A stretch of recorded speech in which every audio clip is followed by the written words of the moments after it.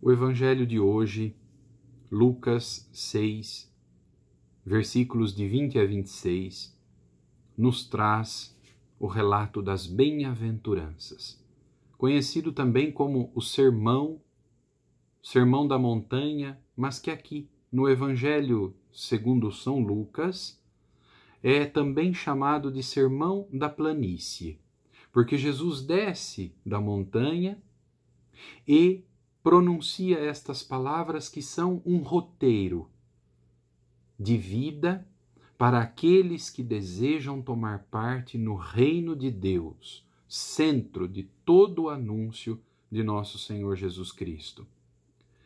Estas bem-aventuranças, em resumo, nos fazem perceber que Deus, infinitamente bom, misericordioso, deseja o seu povo com vida e salvação. Não quer perder o seu povo.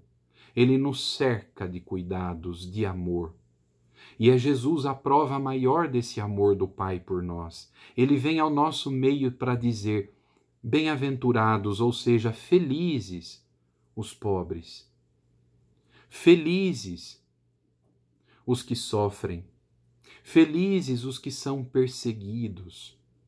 Felizes aqueles que são perseguidos por causa de Jesus.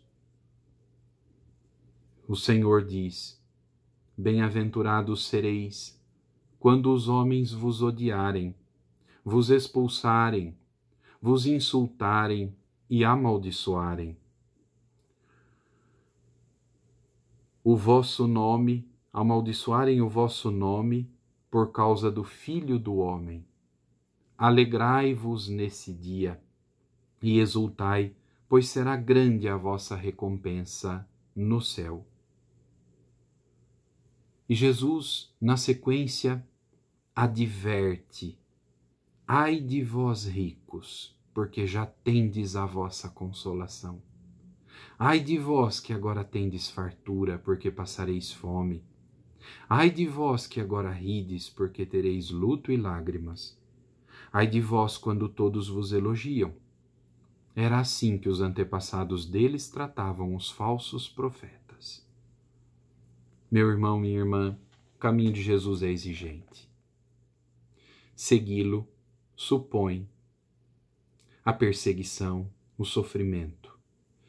Não perseguição e sofrimento para nos destruir, mas porque devemos, em nome de Jesus, enfrentar as injustiças deste mundo, enfrentar as maldades dos corações, a inveja. E não podemos perder a perseverança, a constância e a serenidade. Unidos a Cristo Jesus, enfrentemos tudo neste mundo. Unidos a Ele, na certeza de que a recompensa não é daqui. A recompensa será grande nos céus. A felicidade completa será nos céus. A palavra de Jesus enche de coragem e de esperança os que seguem os seus passos. Ao mesmo tempo, as palavras de Jesus nos comprometem com a vida uns dos outros, o amparo uns dos outros. Em nome dele, busquemos testemunhar a austeridade de vida, a humildade, testemunhar a justiça, a paz, testemunhar o amor, em nome dele, a exemplo dele.